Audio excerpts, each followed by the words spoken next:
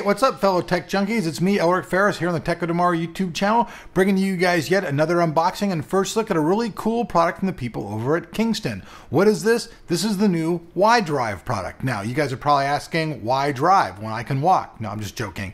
Anyways, what the Wi Drive is, is basically this is portable storage that will connect to pretty much any wireless type of device, be it tablet or phone. It works with Mac devices, it works with the Android, works with all those different things. It's 64 gigabytes and it's really cool. And one of the special things about it is that three users can use it all at once. That's right. You can have a digital, that's right, a digital menage a trois without any degradation in this drive, which is kind of kinky. Kinky, kinky, kinky.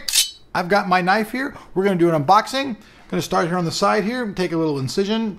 Go ahead and just cut it down here. Nice and cleanly, like a doctor.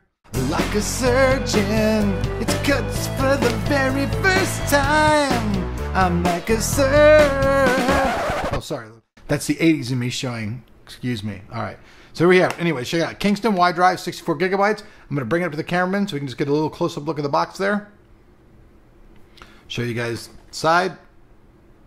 The other exciting side. One more exciting side. And then last, before the orgasmic unboxing, up the back of the box. Oh my gee willikers. Okay, folks. So here up in here, I got it. I'm going to do the unboxing here. You can see it. Dun, dun, dun, dun. Oh, look at that. The cap came off. I got some foamy stuff underneath here. I guess, ooh, that thing's really, really nice and light. So we've got right here, we got it, check it out. Got the manual, not to be confused with Manual the cameraman. Oh, I'm just kidding. Just couldn't help but throw that in there. Toss it off the side. Got the little power connector right here. It's very, very small. It's little wall circuitry thingamadooger. I like that, like that word, wall thingy-madooger. Then we've got the little USB plug. We no longer need this box, so we'll set that down over there. So, here we basically have it. Let me take the plastic off completely. Ooh, no, actually though, folks, I want to bring it up here by the mic.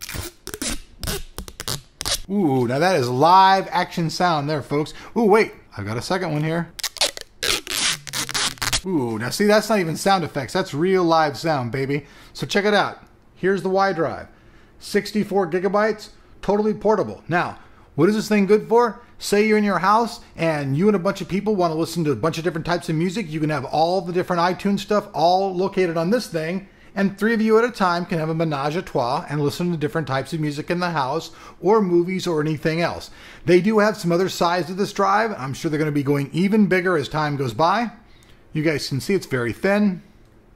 It's very lightweight. There's a little power little button thing here on the side right here. You guys can see it. It's all lighting up. It's all turned on now.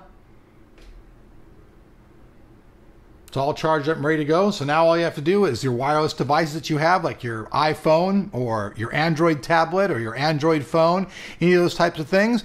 So like, say you like listening to music in your phone and then your mom or your brother or somebody they want another room watch a movie and then somebody else actually wants to do something else with it. As long as you have either like an apple tv or any of those type of devices in the house you'll be able to wi-fi onto it take the information off of this and stream it. And you can do it with three people at a time which is pretty cool. I know it's kind of a niche market. There's a lot of other products that are emerging onto the market that have the same type of thing but hey kingston's here first. This thing's pretty cool. I'm Elric Ferris we'll see you here later on tech tomorrow